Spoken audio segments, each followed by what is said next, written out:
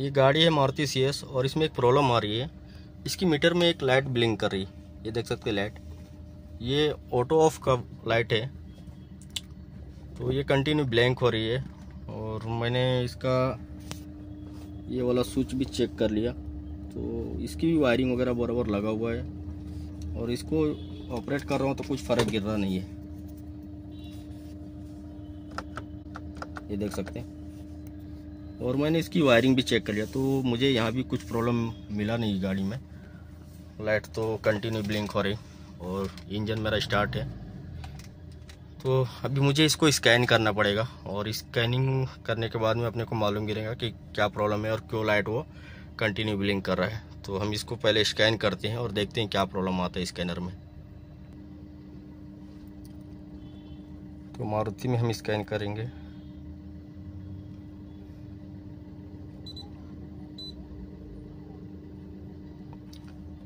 New मेनू।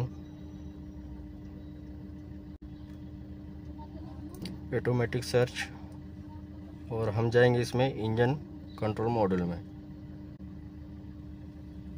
और मेरी गाड़ी है सी एस तो हम सी एस सिलेक्ट कर लिए।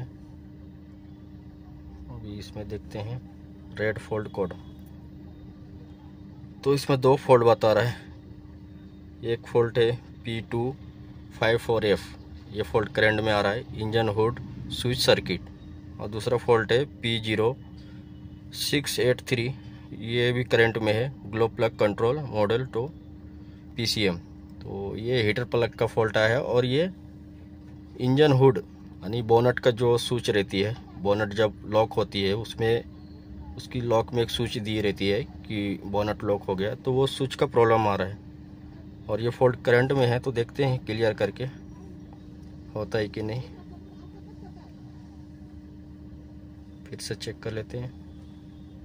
ग्लो प्लग का जो फॉल्ट था वो क्लियर हो गया और ये इंजन हुड स्विच का जो फॉल्ट है, अभी भी आ रहा है और वो तो कंटिन्यू ब्लिंक कर रहा है अभी भी और मेरी गाड़ी स्टार्ट है।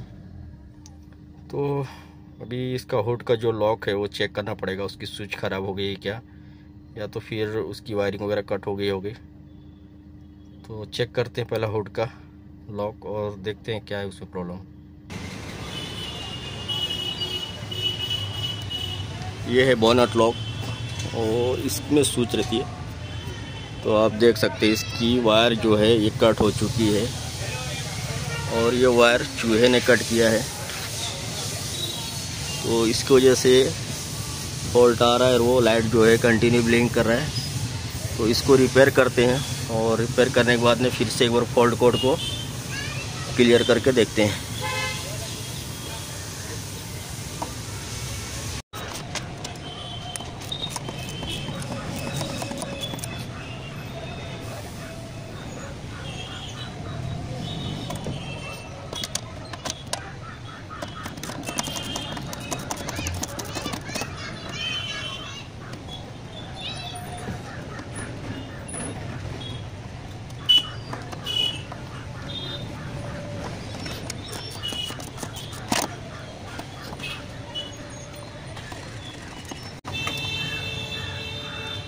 देख सकते हैं पूरा वायर कट हुआ इसका।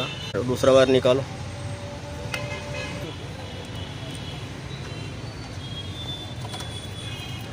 ये देख सकते हैं इसकी पूरी वायर कट हुआ है। तो इसको रिपेयर करना पड़ेगा। निकालो यहाँ से। खींचो। हाँ, बस बस बस बस। चलो कटर लाओ फटाफट कट करो वायर जोड़ो। वायरिंग तो हमने इसका कर दिया है।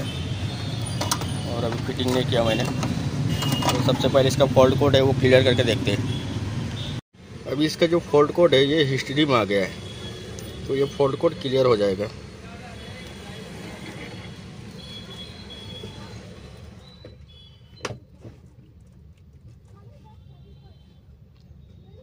नो डी टी सी अभी गाड़ी को करते हैं स्टार्ट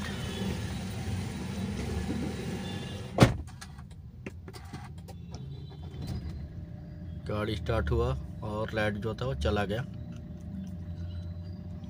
और एक लाइट अभी भी आ रहा है।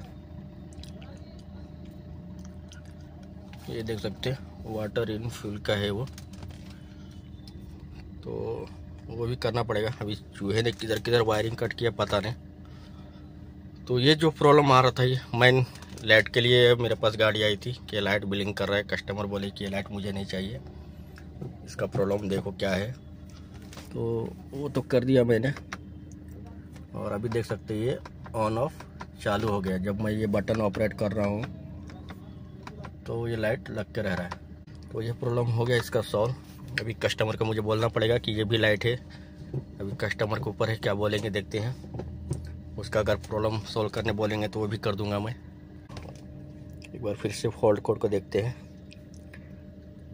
तो ये ग्लो प्लग का फॉल्ट अभी भी आ गया है और water in fuel sensor circuit ये भी करंट में, दोनों करंट में है। तो अभी तो मेरा काम हो चुका है, जो कस्टमर ने बताया हो। अभी आगे का हम बात करेंगे कस्टमर से और कस्टमर बोलते हैं कि ये भी काम करना है तो फिर ये भी कर देंगे।